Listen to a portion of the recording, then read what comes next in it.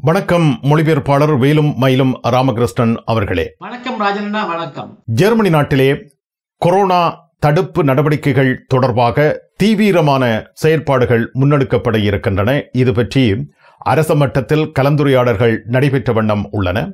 அதேவேளை ஜெர்மனி நாட்டின் மருந்து உற்பத்தி நிறுவனமாகிய பயோன்டெக்ஸ் நிறுவனத்தினுடைய தயாரிப்பாக வெளிவர இருக்கின்ற கொரோனா தடுப்பூசி மருந்து தொடர்பாக மிக நல்ல கருத்துக்கள் வெளியாகியுள்ளன. கடந்த இருபத்தி நான்கு மணித்தியாரத்தில் ஜெர்மனியில் பதினைஞ்சாயிரத்தி முன்னூற்றி முப்பத்தி ரெண்டு பேர் இந்த கொரோனா நோய் தொற்றுக்கு உள்ளாகி இருக்கின்றார்கள். மொத்தமாக ஜெர்மனியில் ஆறு லட்சத்தி எண்பத்தி ஏழாயிரத்தி இருநூற்றி ஆறு பேர் இந்த கொரோனா நோய் தொற்றிற்கு பாதிக்கப்பட்டிருக்கின்றார்கள்.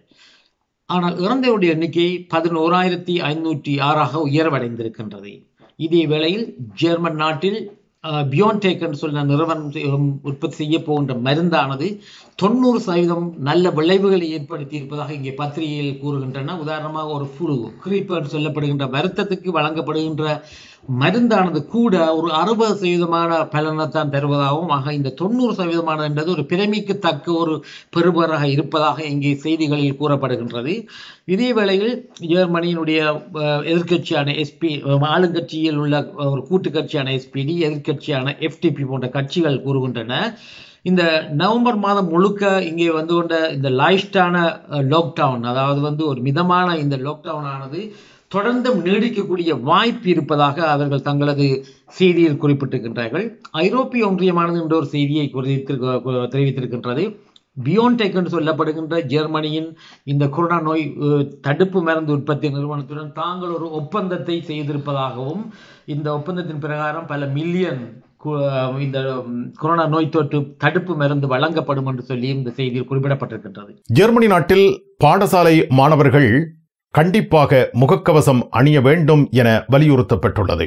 ஜெர்மனியின் கல்வி அமைச்சரான திருமதி காலிச்செக் என்பவர் இன்று ஒரு பேட்டியில் ஒரு செய்தியை தெரிவித்திருக்கின்றார். அதாவது பாடசாலை மாணவர்கள் அனைவரும் முகக்கவசம் அணிந்தால் நல்ல விடயம் என்று சொல்லியும் இதே வேளையில் குருன்சுலன் சொல்லப்படுகின்ற ஆரம்ப பாடசாலை மாணவர்களும் இந்த முகக்கவசத்தை அணிதல் வேண்டும் என்று சொல்லியும் இதே வேளையில் பாடசாலைகளில் இந்த சமூக இடைவெளியை கட்டாயம் கடைபிடிக்க வேண்டும் என்று சொல்லியும் அவர் தனது செவியை தெரிவித்திருக்கின்றார். முகக்கவசம் அணியாதவரை தடுத்து நிறுத்திய காவல்துறையினர் தாக்குதலுக்கு உள்ளாகி இருக்கின்றனர். இன்றைய தினம் டியூஸ்பர்க் நகரத்தில் குவினிக்ஸ் ராச என்று சொல்லப்படுகின்ற பிரதேசத்தில் முகக்கவசங்களை சரியான முறையில் அணியாத ஒரு ஆணையும் பெண்ணையும் போலீசார் வந்து அவர்களை சோதித்த பொழுது இந்த ஆண் போலீசாரை பலமான முறை தாக்கியிருக்கின்றார் இதேவேளை இந்த பெண்ணும் போலீசாரை தாக்கியிருக்கின்றார் பின்னர் இவர்கள் இரண்டு பேரும் போலீசாரால் கைது செய்யப்பட்டு பின்னர் அவர்களுடைய தரவுகளை பெற்று விடுதலை செய்யப்பட்டிருக்கின்றார்கள்.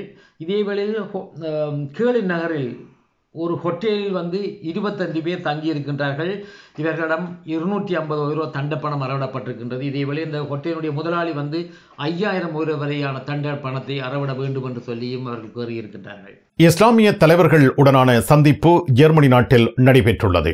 இன்றைய தினம் வளமை போல் ஜெர்மன் உள்ளூராட்சி அமைச்சர்களுக்கும் ஜெர்மனியில் உள்ள இஸ்லாமிய அமைப்புகளுக்கும் இடையிலே ஒரு பேச்சுவார்த்தை நடைபெற்றிருந்தது. இந்த பேச்சுவார்த்தையின் பிரகாரம் சில முடிவுகள் எட்டப்பட்டிருக்கின்றன. அதாவது வரும் காலங்களில் இஸ்லாமிய மத போதகர்களை வந்து ஜெர்மன் நாட்டிலே அவர்களுக்கு கல்வி கேட்பது என்று சொல்லியும் எதிர்வரும் காலங்களில் வேறு நாடுகளிலிருந்து இந்த மத போதகர்களை உள்வாண்டுவதில்லை என்று சொல்லியும் அவர்கள் முடிவெடுத்திருக்கின்றார்கள்.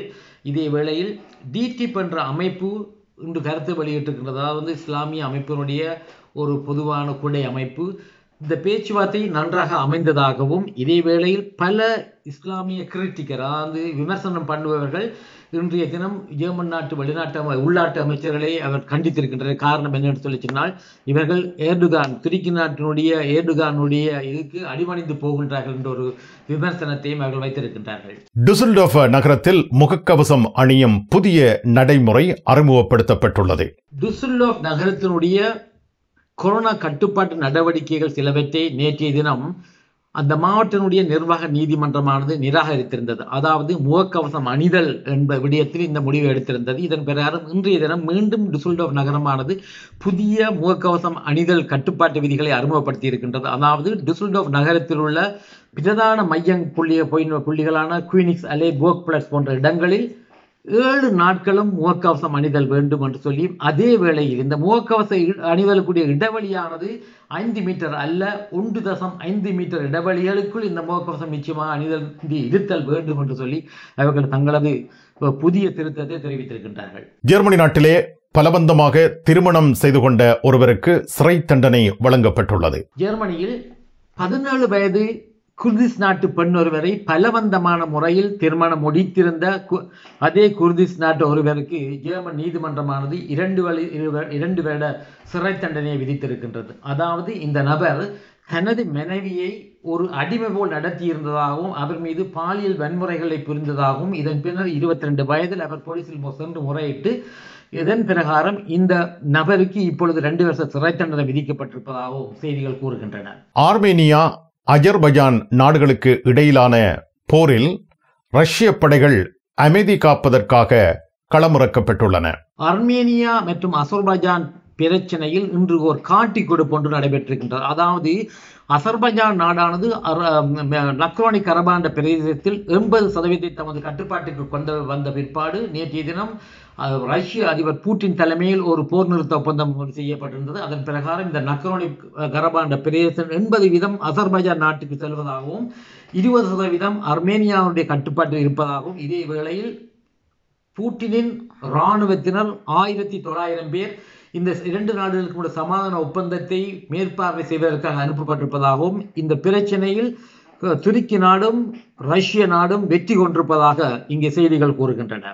இஸ்லாமிய தீவிரவாதத்தை கட்டுப்படுத்த ஐரோப்பிய நாடுகளின் தலைவர்கள் கலந்துரையாடியுள்ளனர். அண்மை காலங்களில் இஸ்லாமிய தீவிரவாதிகள் ஐரோப்பா நாடெங்கும் பல வன்முறை தாக்குதலை மேற்கொண்டிருந்தார்கள். இந்த வன்முறை தாக்குதலை கட்டுப்படுத்துவதற்காக இன்றைய தினம் பிரான்ஸ் நாட்டு அதிபர் ஒசிய நாட்டு அதிபர் செபஸ்டியான் குவர்ட்ஸ் மற்றும் ஐரோப்பாவுடைய ஜெர்மனியின் அங்கலா மேக்கல் போன்றவருடன் வீடியோ கான்பரன்ஸில் சில முடிவுகள் எட்டப்பட்டிருந்தன. இந்த முடிவுகள் பிரகாரம் இஸ்லாமிய தீவிரவாதத்துக்கு எதிராக கடும் நடவடிக்கை எடுப்பதாகவும் அவர்களுக்கு எதிரான ஒரு போர் பிரகடனத்தை தான் மேற்கொள்வதாகவும் அவர்கள் கூறியிருக்கின்றார்கள். ரஷ்யா மற்றும் ஒரு கொரோனா தடுப்பூசியை அறிமுகப்படுத்த இருக்கின்றது.